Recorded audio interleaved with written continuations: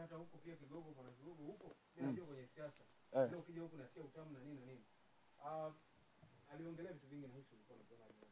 Eh.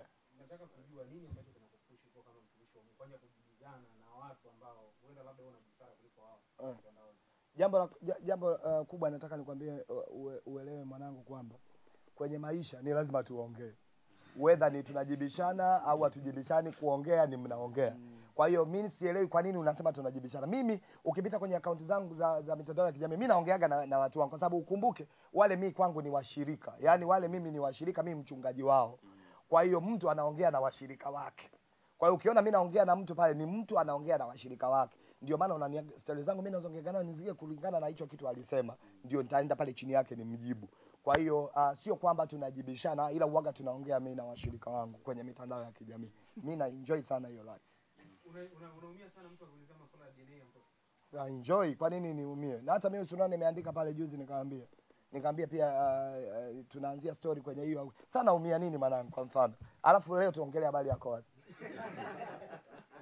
tuongelee habari ya koa jamani limewaki swali moja kabla tujafunga AC video alisemaje? Video umeuliza maswali mengi Swali alisema kuna waimbaji wengine ambao wako wako sehemu nyingine tayari. Eh. Mfano labda wanakwaya wako. Eh. Vitu kusanya itakuwa kama masuala ya lebo labda mtu eh yani hivi. Hii nimeshaelewa nimeshaelewa usitumie calories nyingi. Nasemaje? Yaani watu waelewe Koath music sio kanisa. Umeelewa? Sio kanisa. Hii ni timu inayosukwa au ni kwaya kubwa inayotengenezwa kwa ajili ya kuhudumia ulimwengu mzima. Inazo taratibu. Sisi hapa kwenu na nyinyi waandishi wa habari hatushei taratibu za Koath music. Taratibu za Koath zitatajwa kwa wale ambao wameshinda tuwaambie utaratibu wetu moja mbili tatu uangalieni. Mnafikiri mnaweza kuendana na utaratibu huu lakini kwenye audition tunawakaribisha. Wakija ndio wataona utaratibu lakini hatuna maana kwamba tuna shida mtu akitoka sijui kwenye kanisa fulani sijui akitoka si hatuna shida na mtu hatuna shida na dhehebu lake. Tunataka watu waje waonyeshe kipaji. Wakishinda tutawapa utaratibu wa Coath music. Unafanyaje kazi? Tuna rekodi lini? Target yetu ya kufanya matamasha ma, ma, uh, ma, ma, ma, mifungo unajua kuna mifungo lakini kuna uh, training tour mnaelewa mnaenda huko Birmingham umeelewa mm. eh, mnaenda Mantananarivo ku- ku- ku- ku- kupasha mazoezi na vitu vya namna hii. Mtu ana uwezo huo? Na mmoja ya vigezo ambavyo ni lazima eh, hivi hivi hata director hajaniambia lakini mimi nataka nikwambie tu kama siri. Kigezo cha kwanza ni lazima uwe afya yako inaruhusu kupanda ndege kwa sababu kuna ruti nyingi za mwewe kwa hiyo kama una- una- unasumbuliwa na kupanda ndege yani utapunjika. Asanteni sana. Uh, kwa, kwa ukweli kabisa hadi sasa hivi target ambayo tumejiwekea ni target ya kutengeneza kwaya kubwa sana. Na tunaogopa kusema hivi kwa sababu kuna watu watakuja watu waga wanakata tamaa wakiona tu. Utakuja day one hapa utakuta pamejaa watu useme ah katika watu ndio walisema wanahitaji hiyo kwa hiyo na watu mia ah mbona washatosha basi ageuze. Kwa hiyo hatusemi namba ya ya watu tunaohitaji kwenye kwaya tutawaambia eh, uh, baadaye hao watu wetu watakao kuja kwenye kushiriki. Jamani tunawashukuru sana. Jambo la mwisho niwaombe waandishi wa habari. Subiri subiri subiri kabla muondoe vitu vyenu. Subiri nataka tuombe kwanza kabla tuondoe hivi vitu. Mnakuaga na tabia tunashare habari tumezungumza mambo mengi mnapost kaeneo hivi tu. Kwa hiyo message guzima haguendi hewani. Sasa nataka niwaambie kabisa. Jambo hili balozi ni mchungaji mimi mungu ninayemtumikia anangu nikitamka kitu kinakuwa. Kwa hiyo usipoipeleka hewani hii nataka nikwambie miezi mitatu unakosa habari. Yaani miezi mitatu chaneli yako inakosa habari. Au unaposti vitu hamna mtu ana view. Unaposti kitu ni unajiangalia wewe tu na, na watu wenu wa ofisini kwa hivyo funika macho tuombe. Bwana yesu ninakushukuru kwa ajili ya siku njema ya leo.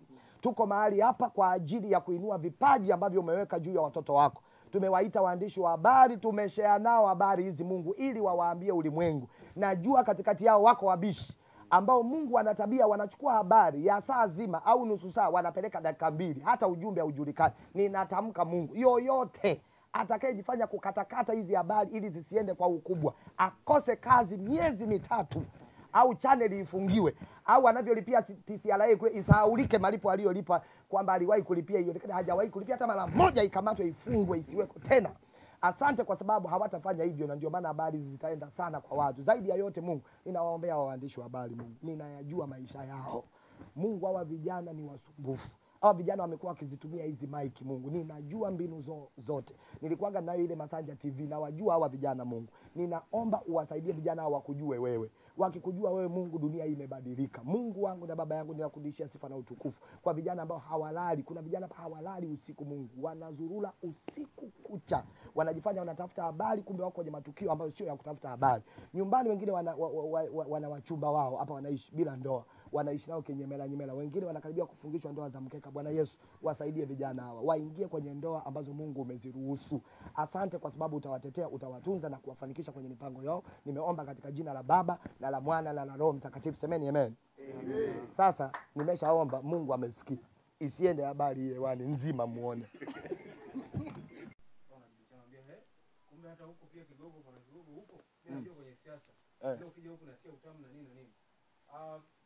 aliongelea vitu vingi ulikuwa unaviona eh.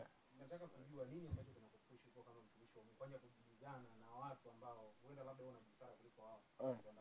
Jambo la, jambo uh, kubwa nataka nikwambie uh, ue, uelewe mwanangu kwamba kwenye maisha ni lazima tuongee, whether ni tunajibishana au hatujibishani. Kuongea ni mnaongea.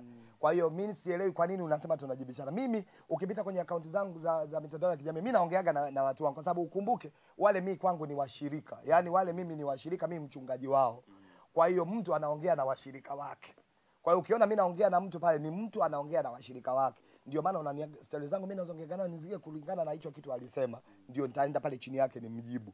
Kwa hiyo uh, sio kwamba tunajibishana, ila uwaga tunaongea mimi na washirika wangu kwenye mitandao ya kijamii. Mimi na enjoy sana hiyo life. Una- una- Unaumia sana mtu akiulizia masuala ya DNA ya mtoto. Enjoy, kwa nini niumie? Na hata mimi usiona nimeandika pale juzi nikamwambia. Nikamwambia pia uh, uh, tunaanzia story kwenye hiyo. Sana umia nini mwanangu kwa mfano? Alafu leo tuongelee habari ya Koa. Tuongelee habari ya Koa. Jamani limewaki swali moja kabla hatujafunga AC.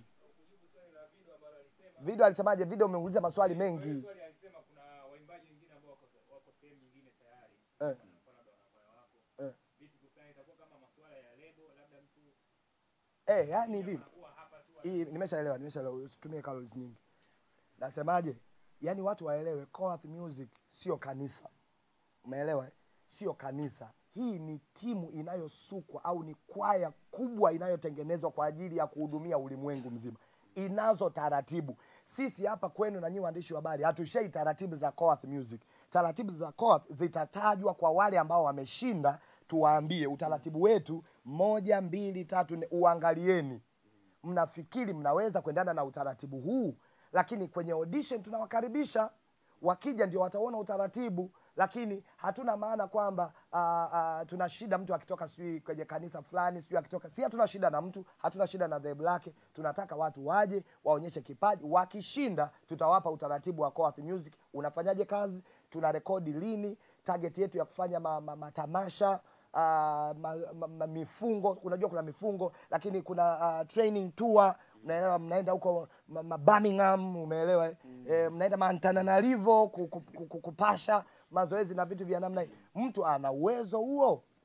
Na moja ya vigezo ambavyo ni lazima eh, hivi hivi hata director hajaniambia lakini mimi nataka nikwambie tu kama siri. Kigezo cha kwanza ni lazima uwe afya yako inaruhusu kupanda ndege kwa sababu kuna ruti nyingi za mwewe kwa hiyo kama una- una- unasumbuliwa na kupanda ndege yani utapunjika. Asanteni sana. Uh, kwa, kwa ukweli kabisa hadi sasa hivi target ambayo tumejiwekea ni target ya kutengeneza kwaya kubwa sana. Na tunaogopa kusema hivi kwa sababu kuna watu watakuja watu waga wanakata tamaa wakiona tu. Utakuja day one hapa utakuta pamejaa watu useme ah katika watu ndio walisema wanahitaji hiyo kwaya hiyo na watu mia ah mbona washatosha basi ageuze. Kwa hiyo hatusemi namba ya ya watu tunaohitaji kwenye kwaya tutawaambia eh, uh, baadaye hao watu wetu watakao kuja kwenye kushiriki